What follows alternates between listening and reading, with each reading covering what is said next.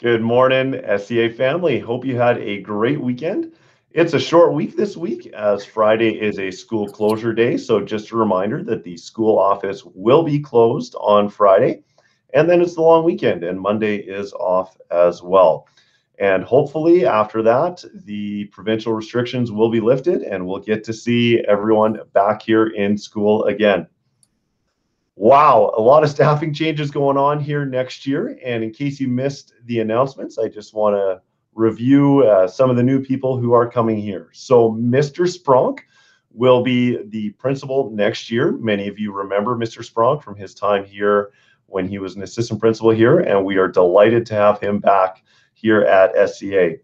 Our junior high assistant principal for next year will be Mrs. Arzate. Mrs. Arzate comes to us from Fort Christian, and so we're very excited to have another individual join us with a strong passion for Christian education. Last week, it was also announced that Mrs. Lennox will be the assistant principal at Fort Christian next year. And so I know Mrs. Lennox will be deeply missed here at SCA as uh, she's made so many great relationships with so many people, but we're really excited for her for this new opportunity. And I know the students at Fort Christian are just going to love having her there.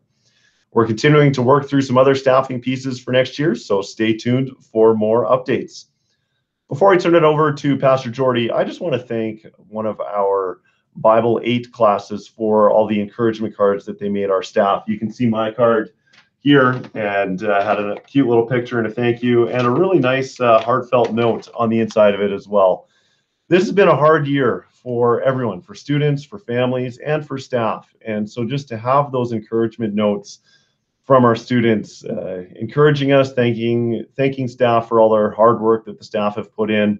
Uh, wow, that really meant a lot. So thank you very much, grade eight class, for doing that for our staff. I know it was uh, very well received, and our staff really appreciated those kind of words. Thank you so much.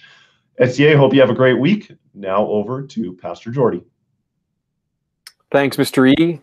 Good day, SCA family. I hope you're having a, a good day so far. Still waking up, some of you, I think. So it's uh, May 17th, 2021. So cases are high still, uh, but going down, I, I think. I think uh, more, uh, more and more people are getting vaccinated. So it's great. Uh, in fact, the entire United States last week just relaxed their mask wearing rule for some people. Uh, not here yet. Hang in there. Our grad went from five people to 10 people, Mr. Murdo tells me. So that's pretty cool. Only 28 days left in actual school till the summer. Very cool. It's great weather out. Great weather out. Uh, remember minus 30? Yeah, it's great weather out, isn't it? Things are looking good. Things are looking good. You know, it's uh, also today there. It's a whole bunch of famous people's birthdays. Uh, of course, you know, like uh, Jordan Knight. You know him? Probably not. He's 50 today. You don't know him? New Kids on the Block, guys. Like legendary boy band, 80s, 90s. Okay, he's 50 today. Can't believe it. Enya, you know her, legend as well. Irish singer. She's 59 today. She a beautiful voice, very relaxing. Check her out. Enya, E N Y A. It's something to kind of relax before you go to bed, guaranteed.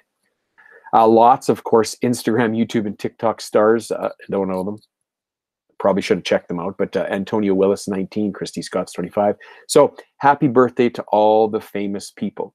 Hey, as I was looking through May 17th, kind of just for fun, I I noticed a couple of things, maybe on a smaller scale, whatever. Uh, in 1989, it was the longest cab ride in history took place 22,500 and a bit kilometers. Over $19,000 it cost. So there's obviously a story to that. You should check it out. Longest cab ride, 1989. Hey, 1975, Mick Jagger from the Rolling Stones well, he actually punches a restaurant window and gets 20 stitches. I don't know what's what happened there, what went on there, but you know, uh, that's what happened in May 17th in history. So, you know, fun to know, maybe just for nothing, not really a big deal. But you know, as I was looking through, here's here's a bigger deal for sure. In the States on May 17th, 1954, there was a major, major civil rights victory won in the Brown versus Board of Education case in Topeka, Kansas. The US Supreme Court unanimously brought an end to racial segregation in public education facilities. That's very cool. Here's one that got me reflecting on my week. Fluke, coincidence? I don't know. I think maybe more. On this day in 2004 in Massachusetts, in the states, it uh, it became the first state to legalize same-sex marriage. Okay, so I'm not going down the controversial road, but just to say that reading that reminded me of the webinar I actually participated in or signed up for and watched this week, and uh, some other people did as well. It was called "Sexuality and the Gospel: An Evening with Jackie Hill Perry." So Jackie's a Christian. She's a wife a mother, a poet, a hip hop artist, a writer, a speaker, and has an amazing testimony about meeting Jesus while living as a lesbian. Jackie is the author of Gay Girl, Good God, and has become an outspoken voice in boldly proclaiming the centrality of the gospel in conversations about sexuality. She's pretty solid. In the webinar, Jackie talked about how the gospel relates to sexuality, and then she responded to a bunch of text in questions from the live audience. It was very interesting.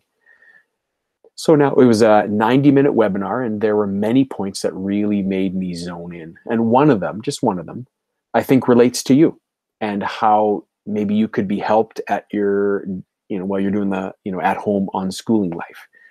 She says the following with caution because uh, and she said this, it sounds so simple. So, but hear her out. She said, You need to love your Bible.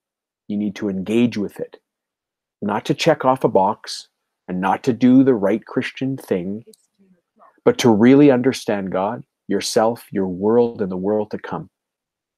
Jackie continues, she said, The Bible has so much wisdom in it that we really need, that we really need.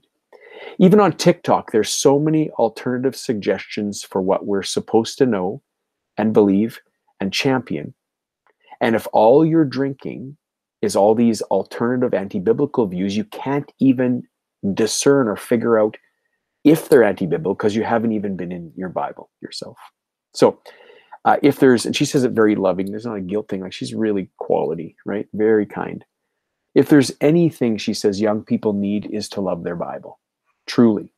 She says that. That's what's going to carry them through this sometimes dark time. So that's a good word. I really appreciated that. And so, SCA, please allow me to leave with you one verse from Scripture. It was actually sent to me by somebody at 7:08 in the morning last week, and I assume they were just reading their Bible, and they just thought they'd send it to me because it kind of it hit or it meant something. They read it and it really stuck because I, they were thinking of you.